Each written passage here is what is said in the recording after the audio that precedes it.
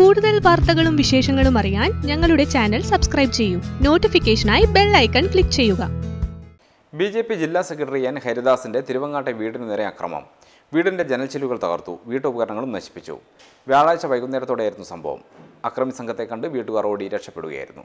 അവർ നേരെ വരികയും എന്റെ വീടിന്റെ തൊട്ടടുത്തുള്ള ഒരു ഗോട്ടൻ എന്ന് പറഞ്ഞ മാരിമൻ ഗോവിന്റെ കോവിന്റെ ഏഹ്, മാ- മണിമാസ്റ്റർ അനീച്ചൻ അതായത് മാസ്റ്ററാണ് കണ്ണൂർ അവരുടെ ഭാര്യയും ടീച്ചറാണ്. അവരെ വീടാണ് ആദ്യം അടിച്ചു പൊളിക്കുന്നത്.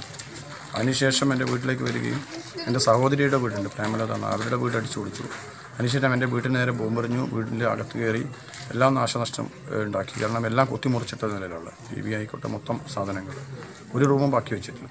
കുട്ടി ഏഴ് വയസ്സുള്ള കുട്ടിയും ഭാര്യയും ഇളയമ്മയാണ് വീട്ടിലുണ്ടായിരുന്നത്. അവർ രക്ഷപ്പെട്ടതാണ്. പ്രാണരക്ഷാതം ഓടി രക്ഷപ്പെട്ടത് അവരെ ജീവൻ കിട്ടുന്നില്ല ഏറ്റവും വീട്ടിൽ വലിയ ഒരു സാധന സാമഗ്രികളും ബാക്കി വെച്ചിട്ടില്ല. ഈ ക്രിമിനൽ സംഘത്തിനെ പോലീസ് പിടിക്കൂല എന്നാണ് പറയുന്നത്. പോലീസിന്റെ കൺമുമ്പിലാണ് നടന്നത് ഇവർ ഈ ആക്രമിച്ചിറങ്ങുമ്പോൾ നേരെ റോഡിന്റെ മുകളിൽ പോലീസ് ഉണ്ടായിരുന്നു പക്ഷേ പോലീസ് അക്രമികളെ പിന്തുടരാനോ പിടിക്കാനോ തയ്യാറായിട്ടില്ല.